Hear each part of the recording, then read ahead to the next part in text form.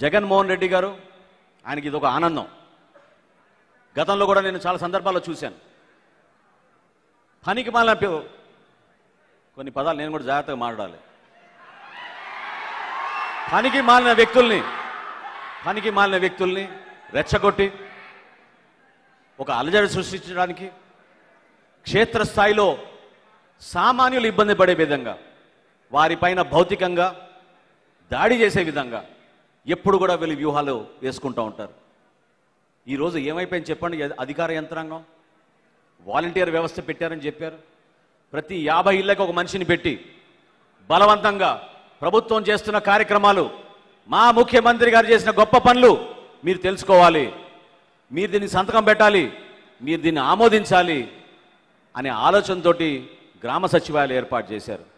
దానికోసం ఆ ప్రజాస్వామ్యం దానికోసం ఆ గ్రామాల్లో జరిగే కార్యక్రమాలు ఎంతో అద్భుతంగా పరిపాలన చేస్తున్నామని ప్రతి ప్రాంతంలో అందరికీ కనివినైన రీతిలో యువతకు ప్రత్యేకంగా ఉపాధి కల్పించబోతున్నామని అభూత కల్పన సృష్టించారు. దుర్మార్గమైన ఆలోచనలు ఉన్నప్పుడు పరిపాలన చేత కానప్పుడు ఇంట్లో కూర్చుని పరిపాలన చేయాలనుకునే నిర్ణయాన్ని ప్రజలు గమనిస్తూనే ఉన్నారు. కోవిడ్ సందర్భంలో ఈ ముఖ్యమంత్రి ఏ జిల్లాకైనా వచ్చాడో చెప్పండి? ఒక్క ఆసుపత్రికైనా వచ్చాడో చెప్పండి? ఇతర రాష్ట్రాల్లో ఈయన కన్నా ఎక్కువ వయసున్న ముఖ్యమంత్రులు ఎందుకు ధైర్యంగా పీపీ కిట్లు వేసుకుని ఆసుపత్రికి వెళ్ళి ప్రజల పక్షాన్ని నిలబడి సరైన రీతిలో చేశారు చెప్పండి? భారతదేశంలో నాలుగో స్థానంలో నిలిచాం మనం కోవిడ్ మరణాలు. కోవిడ్ మరణ అధికారికంగా నాలుగో స్థానంలో నిలిచాం. అనధికారికంగా ఎంత జరిగిందో మీ అందరికి తెలుసు. ప్రతి కుటుంబాన్ని నుంచి కోల్పోయాం మనం. ప్రతి కుటుంబాన్ని నుంచి మనం కోల్పోయాం ఒక వ్యక్తిని కోవిడ్ ద్వారా. ఎంతో మంది మనకి దూరం అయ్యారు ప్రభుత్వ వైఫల్యం ద్వారా. ప్రభుత్వం సరైన రీతిలో ఈ వ్యవస్థని పటిష్టను నడిపించకపోవడం వలన చాలా నష్టాలు జరిగినాయి. వీటి గురించి మీరు మాట్లాడండి.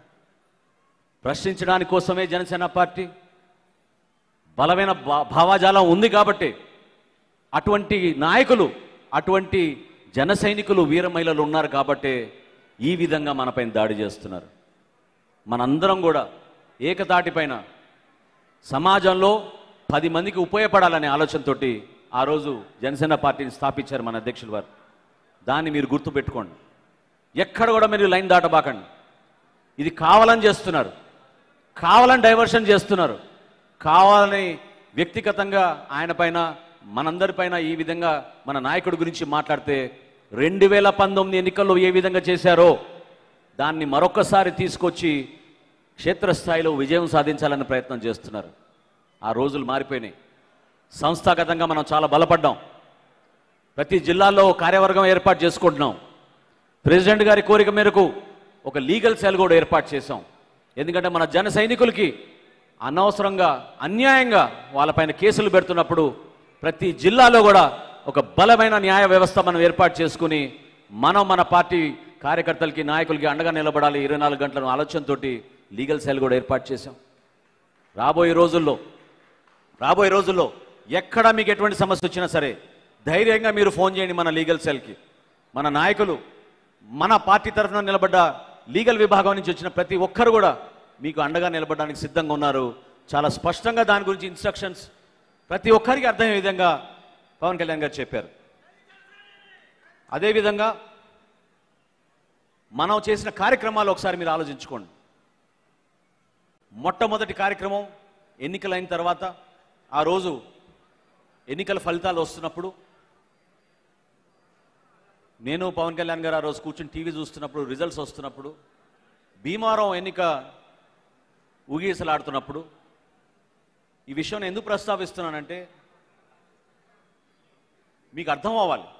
ఆయన ఎటువంటి వ్యక్తి అని. పదవి కోసం పాకులాడే వ్యక్తి కాదు.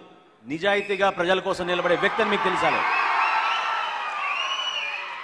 రాష్ట్ర వ్యాప్తంగా కౌంటింగ్ అంతా పూర్తయింది. దాదాపు నూట నలభై సీట్లు ఆల్రెడీ డిక్లేర్ చేశారు. కొన్ని సీట్లు తారుమారు చేశారు. అందులో భాగంగా భీమవరంలో ఎన్నిక జరుగుతున్నప్పుడు కౌంటింగ్ జరుగుతున్నప్పుడు ఇంకొక రెండు మూడు రౌండ్లు ఉన్నప్పుడు పవన్ కళ్యాణ్ గారు గొప్ప మాట అన్నారు. పార్టీ తరఫున నేను ఒక్కటే గెలిస్తే నాకు నచ్చదు. నాకు ఈ విజయం ఉండకపోతేనే బెటర్ అనే భావన ఆ రోజు ఆయన వ్యక్తపరిచారు. శాసనసభకి శాసనసభకి నేను ఒక్కడనే వెళ్ళకూడదు. జనసేన పార్టీ అధికారంలో తెచ్చుకుని మన శాసనసభకి వెళ్దాం. గ్రామ సచివాలయం నుంచి మొన్న సర్పంచ్ ఎన్నికల్లో గ్రామ సచివాలయం నుంచి మొదలైన మన ప్రస్థానం రాష్ట్ర సచివాలయం వరకు మనం బలంగా తీసుకెళ్దాం నిలబడదాం. దానికోసం మనందరం ప్రయత్నం చేద్దాం. ఎక్కడ కూడా మీరు వెనకడుగు బాకండి ఏ బాకండి. వెనకడుగు వేసే అవసరం లేదు మనకి. అంత నిజాయితీగా మనం నిలబడతాం. అంత బలంగా ఉన్న వ్యక్తి మన అధ్యక్షులు పవన్ కళ్యాణ్ గారు. కావాలని కావాలని కొంతమంది ప్రతి సందర్భాల్లో కూడా కించపరిచే విధంగా ప్రయత్నం చేస్తారు. ఎలక్షన్ జరిగిన వెంబడే ఆ రోజు రాత్రి పదకొండింటికి ప్రెస్ కాన్ఫరెన్స్ ఏర్పాటు చేసి ఆయన అన్న మాటలు ఒకసారి చూసుకోండి మీరు.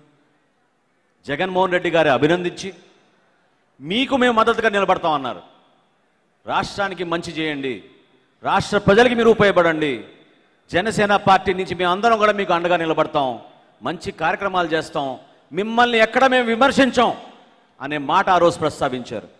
ఎంత పెద్ద మనసుతో ఆయన ఆలోచించారు చెప్పండి. ఈరోజు అదే జగన్మోహన్ రెడ్డి గారు కక్ష సాధింపుతోటి సమాజంలో ఉన్న ఓటు బ్యాంక్ రాజకీయాల కోసం అందరినీ ఇబ్బంది పెట్టే విధంగా ఆయన కొన్ని నిర్ణయాలు తీసుకున్నప్పుడు రాష్ట్రంలో ఇతర పార్టీల సంగతి మనకు అనవసరం. మనమే బలమైన ప్రతిపక్షం. మనమే ప్రతిపక్ష పార్టీ. ఆ రోజు పవన్ కళ్యాణ్ గారు ఇసుక కొరత గురించి మన ఆఫీసులో కొంతమంది వచ్చి వివరించినప్పుడు భవన నిర్మాణ కార్మికులు లక్షల్లో ఉపాధి లేకుండా రోడ్లపైన పడిపోయారు.